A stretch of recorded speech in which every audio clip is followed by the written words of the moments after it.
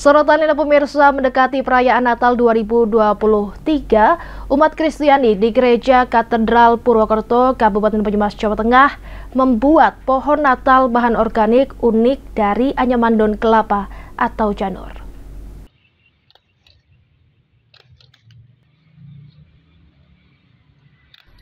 Pohon Natal bahan organik daun janur kelapa dengan ketinggian sekitar 5,5 meter dan diameter di bawah 3 meter itu terletak di halaman Gereja Katedral Kristus Raja di Kelurahan Sukanegara, Kecamatan Purwokerto Utara, Kabupaten Banyumas, Jawa Tengah.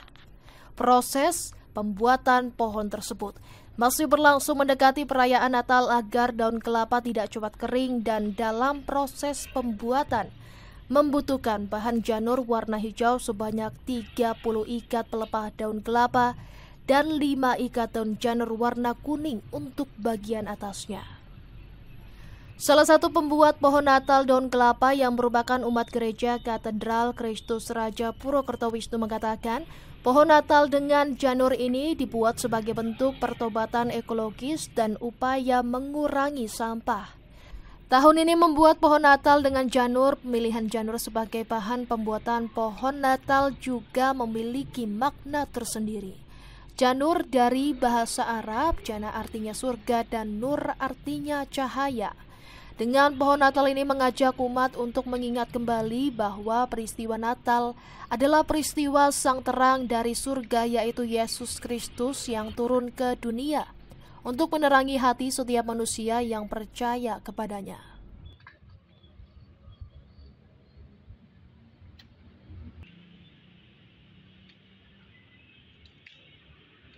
Proses pembuatan apa ini? Uh, pohon Natal terbuat dari dari daun kelapa, hmm. janur ya. Iya. Itu idenya gimana, Pak? Sampai idenya kita tidak menggunakan bahan-bahan yang uh, non organik hmm. kita mengupayakan yang organik kaitannya dengan ini ya uh, uh, ekologi ya hmm.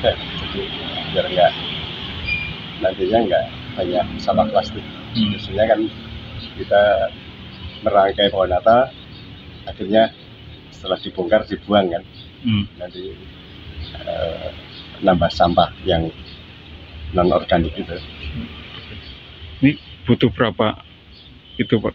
Kemarin kita memperkirakan menggunakan 30 pelepah hmm. yang warna hijau, kemudian yang warna kuning 5.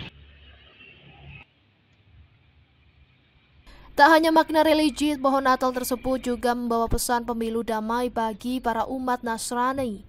Di tahun politik nanti mengharapkan umat memilih dengan cerdas menciptakan suasana damai. Pilihlah pemimpin yang turun ke bawah. Tahu persoalan masyarakat, ini disimbolkan dengan anyaman janur yang mengarah ke bawah. Dari Penyemas Marnoto, Penyemas TV melaporkan.